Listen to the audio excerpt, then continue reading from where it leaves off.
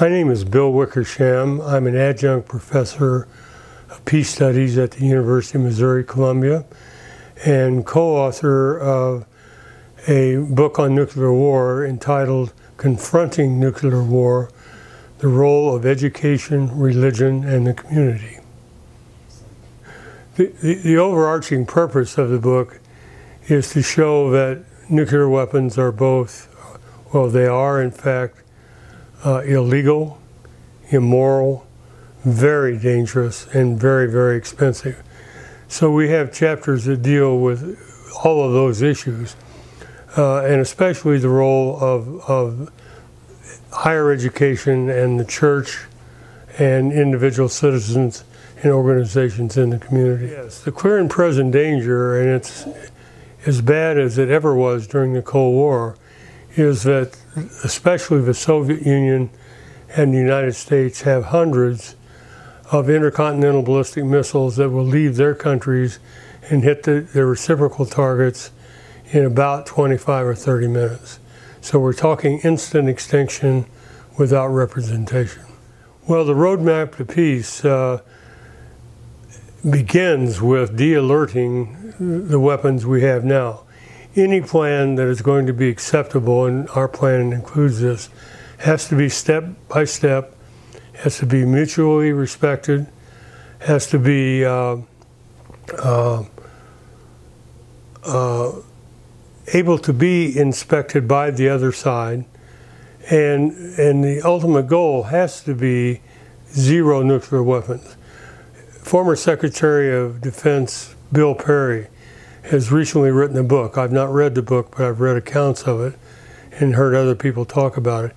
He feels we are in deep, deep trouble, and we need to get on with some kind of plan that's fair-minded to everyone and get out of this trap. Now the problem is the money, and the people who make nuclear weapons uh, make a lot of money.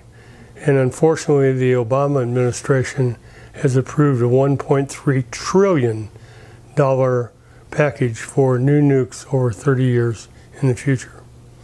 And my hunch is that Hillary Clinton's going to be supporting that too. So that's why people in peace education, nuclear disarmament have to get, get on board. No, I'm afraid that the pressure, and I lobbied for, I worked in Washington for 15 years, came up against people from TRW, Boeing, Northrop, all those companies. They have effectively $1,000 bills in their pocket, figuratively. People who work on the peace side have $10 bills if they're lucky. That lobbying and the super patriotism and tribalism that it's wrapped into means it's very difficult to penetrate this. That's why we got to have a lot more people trying.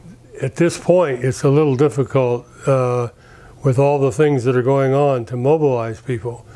But individuals can certainly do, they write letters, they, as I do, they write books, they uh, uh, talk on television, they talk on the radio, they form at least a small group locally. We have a couple of groups here that, that uh, over, over time have done quite a bit. A lot of people say, and I've heard this all my life, don't just talk about it, do something. Talking is doing something. We have a chapter called the Dialogue for Nuclear Disarmament. I use this myself with students and others at a local coffee shop. You simply raise the question, what do you think the chances for World War III are? A lot of people haven't thought about it.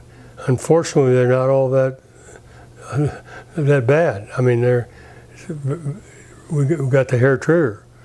So talking about it, and we spell out a systematic not no heavy duty thing, but it's a simple conversational, democratic conversational process called the dialogue for nuclear disarmament. Part, part of the really big problem with this whole thing is it's out of sight, out of mind. And uh, there was a professor at uh, Johns Hopkins University, Jerome Frank. He's a psychiatrist and psychologist. He wrote a book years ago on the social and psychological obstacles that uh, face people who try to get others to do something. And we list about, oh, I think 10 or 20 of those obstacles. The first one being denial. How do you get people to quit denying? Or people who say it's just no use, they throw up their hands. Or, and there are burned out people. I've come pretty close to that myself. So we, we talk about uh, talk about that, and, and there's a, a lengthy chapter on, on that.